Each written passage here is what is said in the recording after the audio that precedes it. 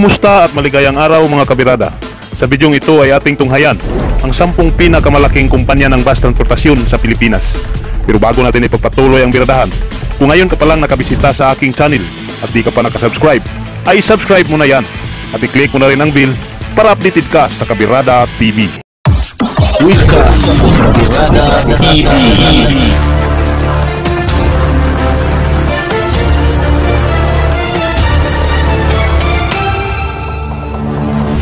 ito ay iyong mapapanood dito mismo sa channel na, channel na ito. Mahigit sa 12,000 ang mga unit ng bus na naglilingkod sa iba't ibang lokasyon sa buong Pilipinas. Ang Yanson Group of Bus Companies ay ang pinakamalaking kumpanya ng transportasyon sa lupain ng bansa at ang pinakamalaking kumpanya ng bus sa Asia.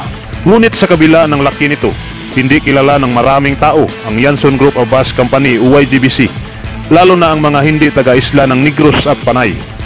Ang YGBC ang pinakasikat na kumpanya ng bus tulad ng Ceres, Walyacar, Gold Star, Bachelor Express, Rural Transit of Mindanao at ilang iba pang kumpanya ng bus sa Visayas at Mindanao. Ang series liner na bus na pag-aari ng Balyacar Transit sa ilalim ng Yanson Group of Bus Companies, ito ay malapit lamang sa Bacolod South Terminal. Sa bidyong ito, ating tunghayan, subsidiary man o hindi, tingnan natin ang nangungunang sampung pinakamalaking kumpanya ng bus transportasyon sa Pilipinas. At ang ating basihan ay ang pinakamaraming unit ng bus na tumatakbo sa operasyon. Tandaan mga kabirada, ang mga bilang ng numero ay batay lamang sa mga datos noong 2017. Narito ang sampung pinakamalaking bus company sa Pilipinas. Number 1, Batsilor Express. Ang Batsilor Express Incorporated o BEI ay isang linya ng bus na nakapayong sa ilalim ng Yanson Group of Bus Companies, YGBC. Nagpapatakbo ito ng mga serbisyo sa transportasyon ng bus sa silangan at gitnang bahagi ng Mindanao na may mga himpilan sa lungsod ng Butuan at lungsod ng Davao sa humigit kumulang 2,500 mga unit ng bus noong 2016. Ang kumpanya ay bumubuo ng 30% ng mga ruta ng bus sa Mindanao. Number 2, Rural Transit of Mindanao. Ang Rural Transit of Mindanao Incorporated o RTMI ay isang linya ng bus na kapayong sa ilalim ng Yanson Group of Bus Companies, YGBC. Nagpapatakbo ito sa mga serbisyo sa transportasyon ng bus sa hilaga at kalurang bahagi ng Mindanao. Kasama ang punong tanggapan nito sa Cagayan de Oro. Ang mga himpilan nito ay matatagpuan sa Bulwa at Yakapin na parehong matatagpuan sa Cagayan de Oro, Pagadian at Dipulog. Sa mahigit 2,400 units, ibinahagi ng kumpanya ang 30% ng mga ruta ng bus sa Mindanao sa kanyang mga kapatid na kumpanya na Batsilor Express at Mindanao Star Incorporated. Number 3, Balyacar Transit Incorporated. Gayunpaman sa ilalim ng payong ng Yanson Group of Bus Companies, ang Balyacar Transit ay nagpapatakbo sa Negros at Panay Islands na nagsisilbi ng hindi bababa sa 80% ng mga ruta ng bus. Ang Balyacar ang pinakaunang prangkisa na binili ni Ricardo Yanson at ang bakbo ng buong Yanson Group of Bus Company. Ang Balyacar ay kumakatawan sa Valladolid at La Carlota, isang bayan at lungsod sa gitnang Negros Occidental. Ang Series Liner, Series Stores at Sugbo Transit ay nasa ilalim ng Balyacar Transit na mayroong 900 plus na unit ng bus na pinagsama.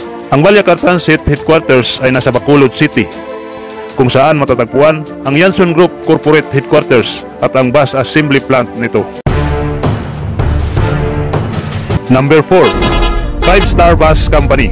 Ang Pangasinan Five Star Bus Company Incorporated o simpleng kilala bilang Five Star ay isang kumpanya ng bus sa Pilipinas na nagsiservisyo sa mga ruta ng mga lalawigan ng Pangasinan, Nueva Ecija, Quirino, Isabela at Cagayan. Ang Five Star Bus Company ay may humigit kumulang 900 bus units noong 2017. Number 5, Victory Liner. Ang Victory Liner Incorporated o BLI ay isa sa pinakamalaking provincial bus company na nagpapatakbo sa Pilipinas na nagsiservisyo sa mga ruta pangunahin sa mga lalawigan ng Central Luzon na kinabibilangan ng Sambales, Pampanga, Bulacan at Northern Luzon na kinabibilangan ng Benguet, Pangasinan, Nueva Vizcaya, Kalinga, Isabela at Cagayan. Malaki ang papel na ginampanan ng kumpanya ng bus na ito sa industriya ng transportasyon. dahil naging produkto ito ng pananakop ng mga Hapones sa bansa pagkatapos ng ikalawang digmaang pandaigdig na may mga ginagamit na CB truck mula sa United States Army bilang pangunahing bus transportasyon. Sa kasalukuyan, ang Victory Liner ay mayroong higit sa 900 mga bus na aktibong nagsiservisyo. Number 6. Piltranco. Ang Piltranco ay isang kumpanya ng transportasyon sa Pilipinas na may operasyon mula sa Luzon hanggang Mindanao. Ang Piltranco ay isa rin sa pinakamalaking kumpanya ng bus sa Pilipinas at ang pinakamatandang kumpanya ng bus na umiral noong 1914. Sa alyansa ng Jamliner, ang Piltranco ay kasalukuyang may humigit kumulang 800 unit ng bus na fleet nito. Number 7. Jackliner. Ang Jackliner ay kapito sa ating listahan na nagsisilbi sa bahagi ng Hilaga at sa Timog Luzon matapos makuha ang Dagupan bus sa higit sa 600 mga unit ng bus na pinagsama.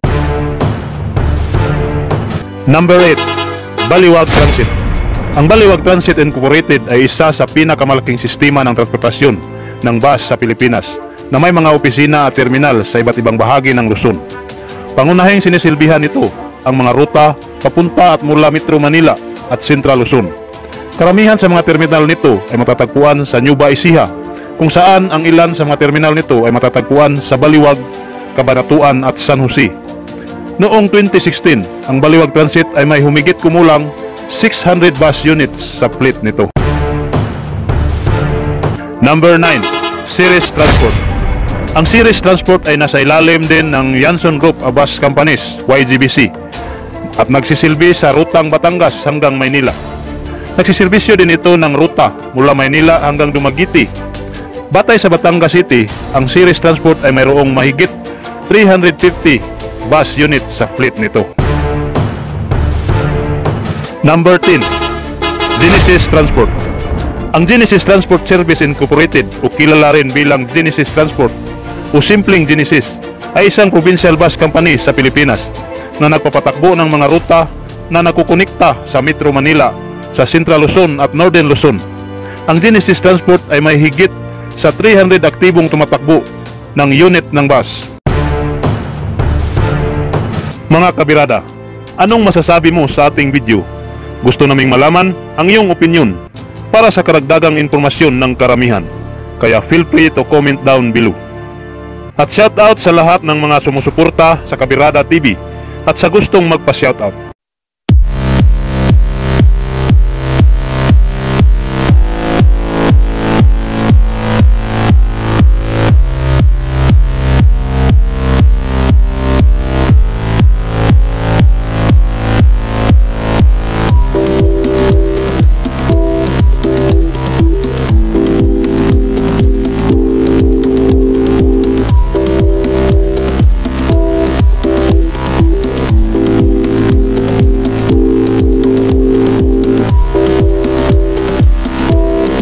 Hanggang dito na lang at sana ay inyong nagustuhan.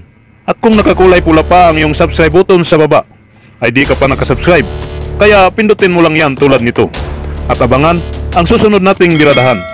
Hanggang sa muli, ito po ang inyong kabirada. Maraming maraming salamat po. Babayu!